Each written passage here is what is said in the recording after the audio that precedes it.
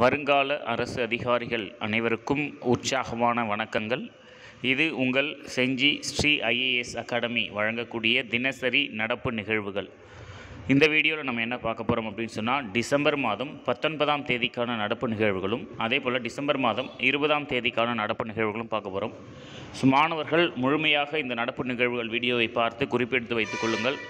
ஒவ்வொரு வாரமும் நம்முடைய ஸ்ரீ ஐஏஎஸ் அகாடமியுடைய டெலகிராம் சேனலில் நடைபெறக்கூடிய இலவச நடப்பு நிகழ்வுகள் தேர்வில் கலந்துக்கோங்க. போட்டித் தேர்வுகளில் டிஎன்பிஎஸ்சி தேர்வுகளில் கேட்கக்கூடிய அத்தனை நடப்பு நிகழ்வுகளுக்கும் சரியான விடையளிக்கக்கூடிய வகையில் நம்முடைய நடப்பு நிகழ்வுகளை மட்டுமே நீங்கள் தயார் செய்தால் போதும். அவ்வளோ விஷயங்கள் நம்ம கேதர் பண்ணி கொடுக்குறோம். நடப்பு நிகழ்வுகளை பொறுத்த வரைக்கும் கிட்டத்தட்ட ஒரு நான்கு ஆண்டுகள் எப்படியெல்லாம் நடப்பு நிகழ்வுகள் டிஎன்பிஎஸ்சியில் கேட்டிருக்காங்க அப்படிங்கிறத வச்சு அந்த நடப்பு நிகழ்வுகள் தொடர்பாக என்னென்னலாம் கேட்டிருக்காங்க அப்படிங்கிறத வச்சு தான் வந்து நம்ம என்ன பண்ணுறோம்னா கரண்ட் அஃபேர்ஸ் ரிலேட்டடான விஷயங்கள் நம்ம எடுத்துகிட்ருக்கோம் பாயிண்ட்ஸ் அவுட் பண்ணுறோம் அதனால் நீங்கள் இந்த குறிப்பு எடுத்து வைத்து இதை படித்தீங்க அப்படின்னாலே உங்களுக்கு பெஸ்ட்டு மெட்டீரியலாக இருக்கும். கரண்ட் அஃபேர்ஸை பொறுத்த வரைக்கும்.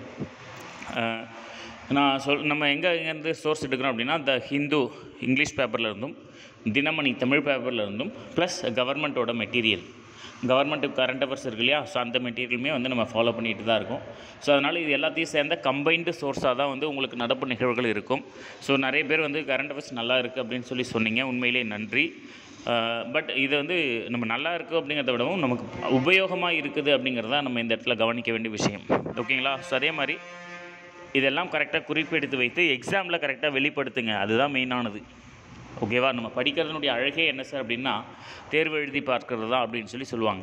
ஓகேவா அதனால் தயவு செஞ்சு இதெல்லாம் எக்ஸாமில் கரெக்டாக ஆன்சர் பண்ணி சார் நீங்கள் கரெக்டாக சொன்னீங்க இந்த பாயிண்ட்லாம் கரெக்டாக வந்துச்சு அப்படின்னு சொல்லி நீங்கள் சொல்லும் பொழுது அதுதான் வந்து உண்மையிலேயே மகிழ்ச்சியாக இருக்கும்.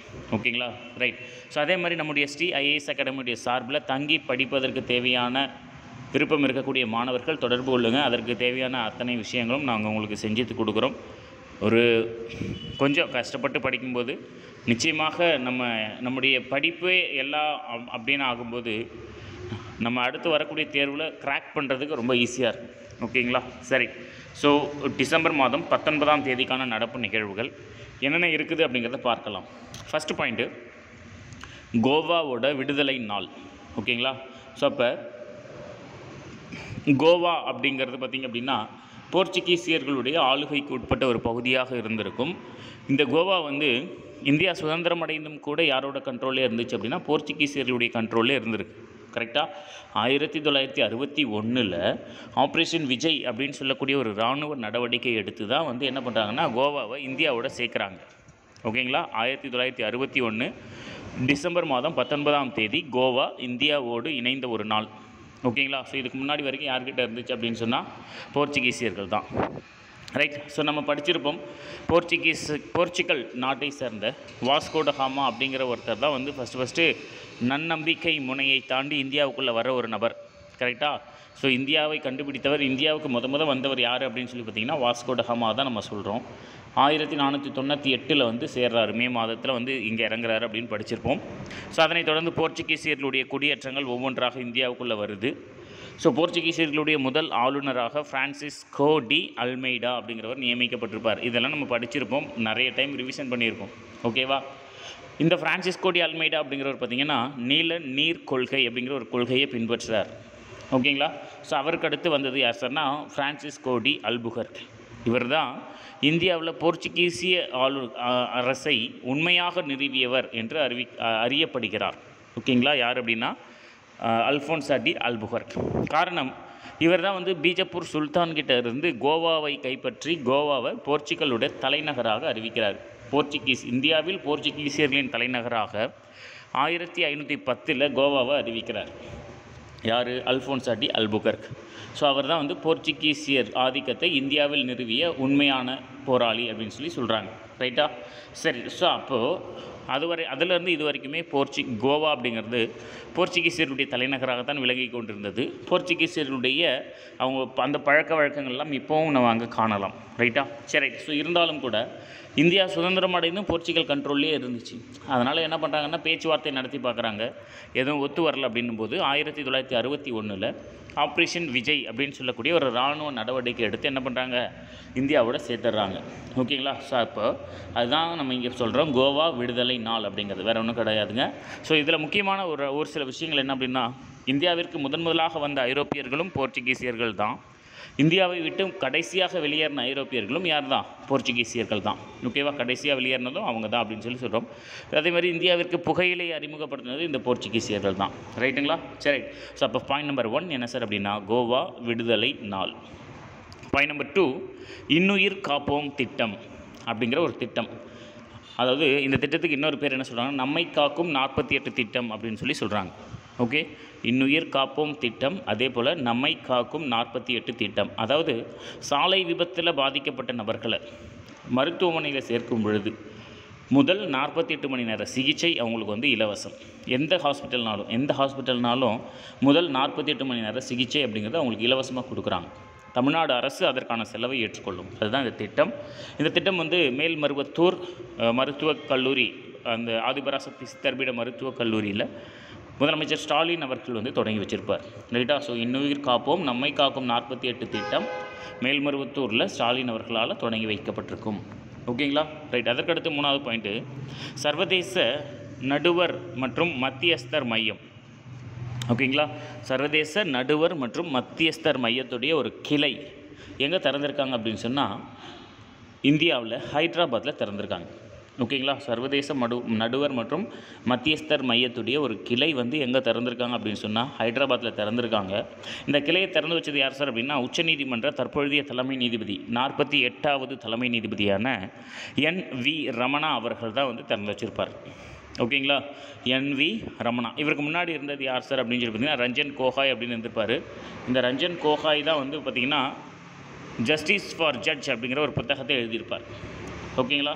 ரைட் ஸோ அப்போ இந்த விஷயத்தை ஞாபகம் சர்வதேச நடுவர் மற்றும் மத்தியஸ்தர் மையம் இந்தியாவில் எங்கே திறந்துருக்காங்க அப்படின்னு சொன்னால் ஹைதராபாத்தில் திறந்துருக்காங்க. ஸோ இதை ஓப்பன் பண்ணி வச்சது யார் சார் அப்படின்னா என் வி ரமணா. ஓகேங்களா அதற்கடுத்து அக்னி பி ஏவுகணை. அக்னி பி ஏவுகணை.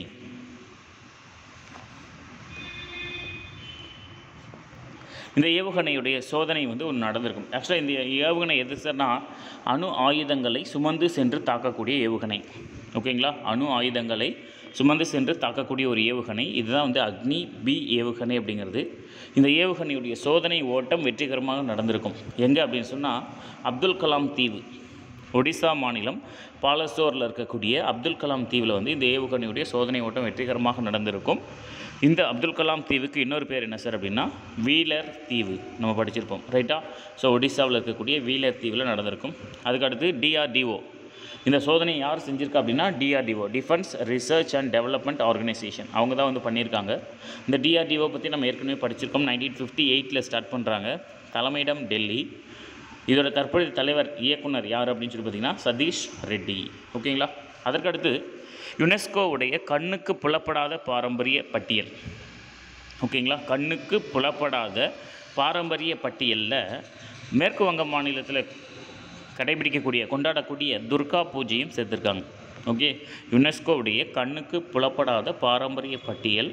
இந்த பட்டியலில் புதுசாக வந்து எதை சேர்த்துருக்காங்க அப்படின்னு சொன்னால் துர்கா பூஜை. மேற்குவங்க மாநிலத்தில் கொண்டாடப்படக்கூடிய துர்கா பூஜையாக சேர்த்துருக்காங்க அப்படிங்கிற ஒரு பாயிண்ட் ஞாபகம் வச்சுக்கோங்க. ரைட் அதற்கடுத்து அஸ்கோட். அஸ்கோட் வனவிலங்கு சரணாலயத்தை சுற்றுச்சூழல் உணர்திறன் மண்டலமாக அறிவிச்சிருக்காங்க. ஓகேவா என்விரான்மெண்ட் சென்சார் ஜோன் அப்படின்னு சொல்லக்கூடிய சுற்றுச்சூழல் உணர்திறன் மண்டலமாக அறிவிச்சிருக்காங்க. ரைட்டா அப்போது இந்த அஸ்கோட் வனவிலங்கு சரணாலயம் அப்படிங்கிறது எங்கே இருக்குது சார்னா உத்தரகாண்ட் மாநிலத்தில் இருக்கக்கூடியதுங்க.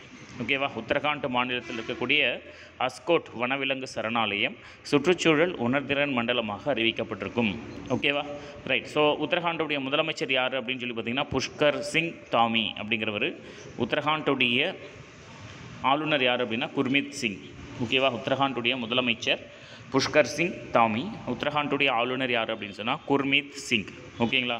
அதற்கடுத்து ரெண்டாயிரத்தி இருபத்தி ஒன்றாம் ஆண்டிற்கான யுனெஸ்கோவுடைய பாரம்பரிய விருது.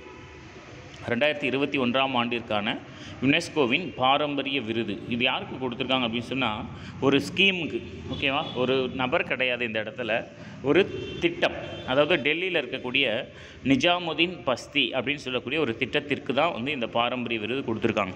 எதுக்காக சார் கொடுத்துருக்காங்க அப்படின்னா அந்த நிஜாமுதீன் பஸ்தி அப்படின்னு சொல்லக்கூடிய திட்டத்தில் அந்த டெல்லியில் இருக்கக்கூடிய பழமை மாறாத அதாவது நம்ம இந்த முகலாயர்கள் காலத்திலலாம் படிச்சிருக்கோம் இல்லையா?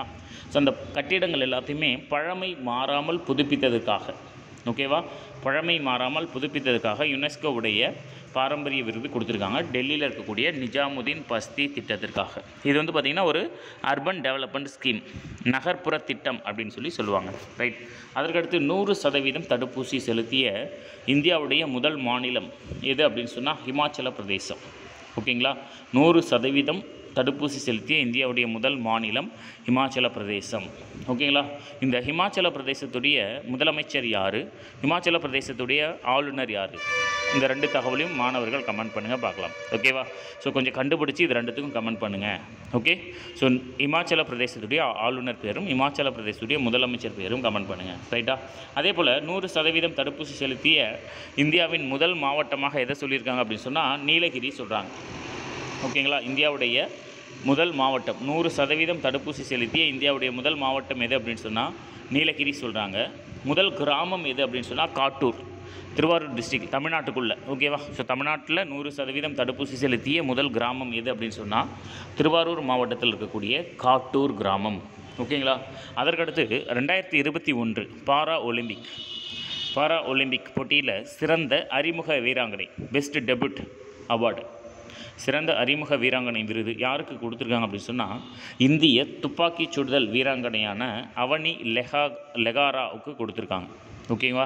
ரெண்டாயிரத்தி இருபத்தி ஒன்று பாரா ஒலிம்பிக் போட்டியில் சிறந்த அறிமுக வீராங்கனை விருது யாருக்கு கொடுத்துருக்காங்க அப்படின்னா அவனி லெஹாரா அப்படிங்கிறவங்களுக்கு. இவங்க எந்த விளையாட்டோடு தொடர்புடையவர் அப்படின்னு சொன்னால் துப்பாக்கி சுடுதலுங்க. ஓகேவா? ஸோ அதே மாதிரி பாரா ஒலிம்பிக் துப்பாக்கி சுடுதல் போட்டியில் இவங்க வந்து ரெண்டு தங்கம் வென்றிருப்பாங்க.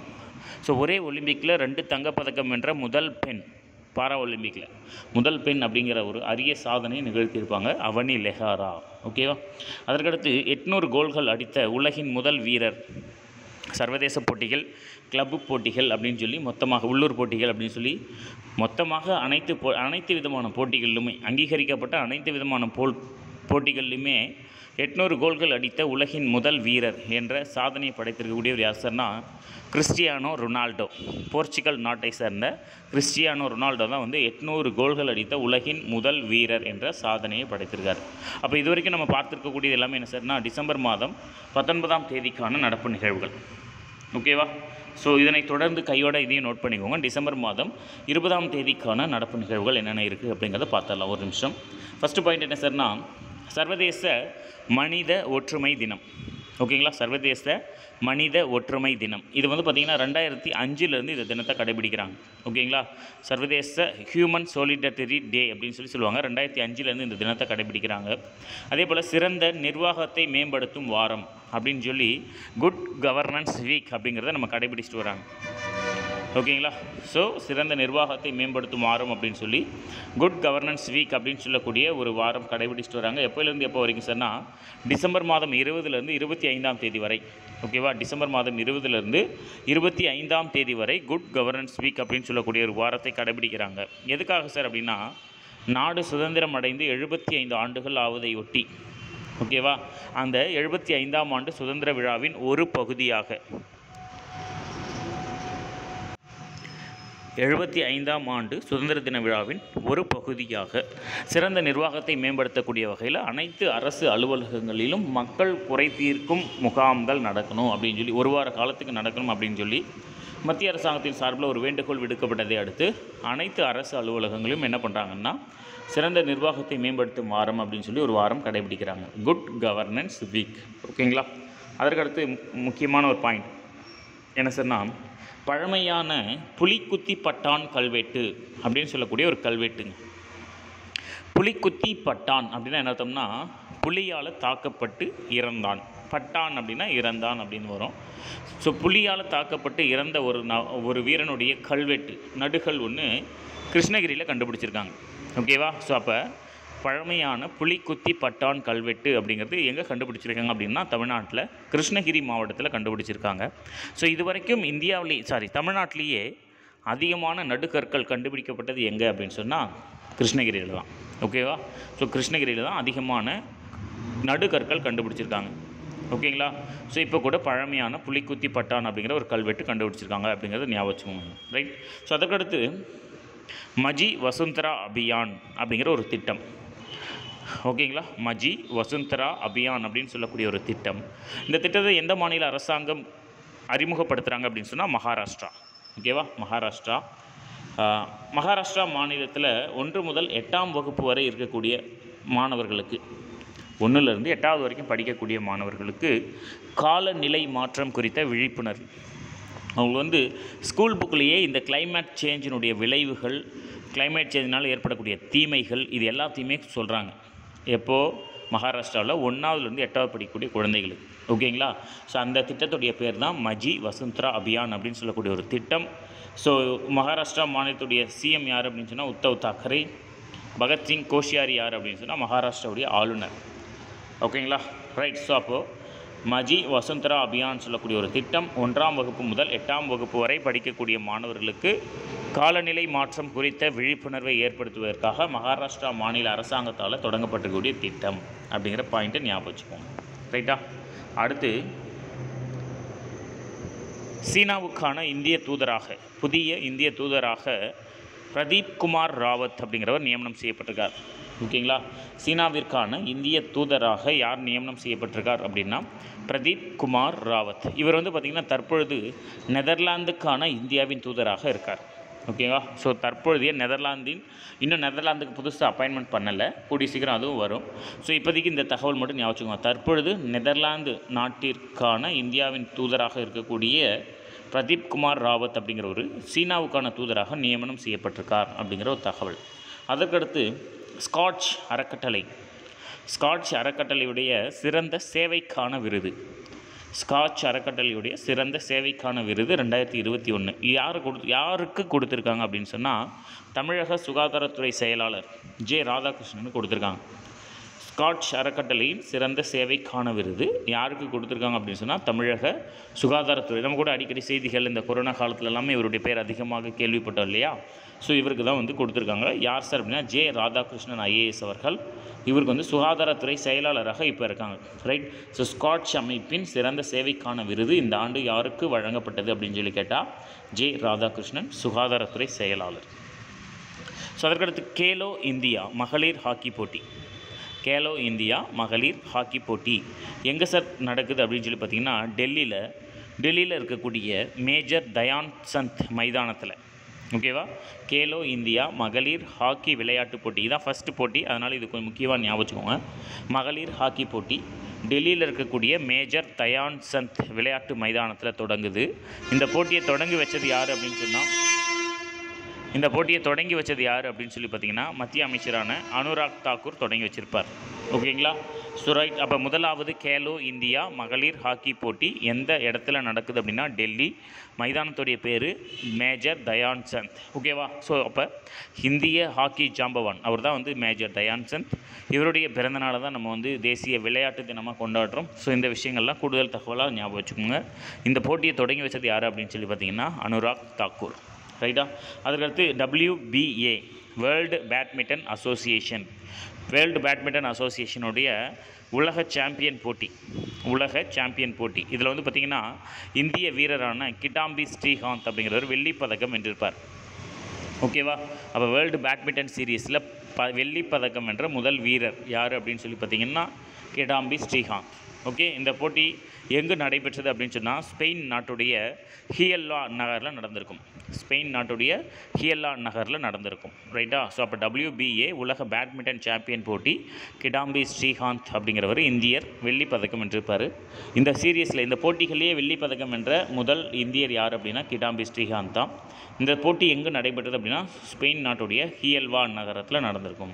ஸோ அப்போ இது வரைக்கும் நம்ம பார்த்துருக்கக்கூடிய தகவல் எல்லாமே என்ன சார் அப்படின்னா டிசம்பர் மாதம் இருபதாம் தேதிக்கான நடப்பு நிகழ்வுகள். ஓகேவா ஸோ தொடர்ந்து வீடியோ பார்த்துட்டே இருங்க. இருபத்தொன்று இருபத்தி ரெண்டுக்கான நடப்பு நிகழ்வு நம்ம கூட கூடிய சீக்கிரம் அப்லோட் பண்ணிடுவோம் ஸோ டிசம்பர் மாதம் இந்த மூன்றாவது வாரத்திற்கான நடப்பு நிகழ்வுகள் வந்து வருகின்ற ஞாயிற்றுக்கிழமை உங்களுக்கு தேர்வு நடைபெறும் நம்முடைய டெலகிராம் சேனலில் அதே மாதிரி free offline class sorry free online கிளாஸஸ்க்கு நம்முடைய டெலகிராம் சேனலை நீங்கள் ஃபாலோ பண்ணிக்கோங்க. அதில் அது குறித்த அறிவிப்புகள் வரும். அதே மாதிரி நம்முடைய ஸ்ரீ ஐஏஎஸ் அகாடமியுடைய சார்பாக குரூப் டூ தேர்விற்கான டெஸ்ட் பேட்சும் குரூப் ஃபோர் தேர்விற்கான டெஸ்ட் பேட்சும் வெற்றிகரமாக நடை நடைபெற்று கொண்டு இருக்கிறது ஸோ அந்த டெஸ்ட் பேட்சில் இருக்கக்கூடிய மாணவர்களுக்கு ஒரு ஹம்பிள் ரெக்வெஸ்ட் என்ன சார் அப்படின்னா கொஞ்சம் எல்லோரும் டெஸ்ட் எழுதி அனுப்புகிறீங்க பட் ஆனால் டயத்தை கொஞ்சம் ப்ராப்பராக ஃபாலோ பண்ணிக்கோங்க. அதுதான் முக்கியமான விஷயம். ஓகேவா இப்போ நீங்கள் என் கண்ணு முன்னாடி உட்காந்து டெஸ்ட் எழுதும்போது நான் உங்களை கவனிச்சிக்கிட்டே இருப்பேன். நீங்கள் எப்படி எழுதுறீங்க என்ன எழுதுறீங்க அப்படிங்கிறது எல்லாமே கவனிச்சிட்டே இருப்பேன். ஸோ உங்களுக்கு வந்து கரெக்டாக டயத்தை ஃபாலோ பண்ணுவோம்.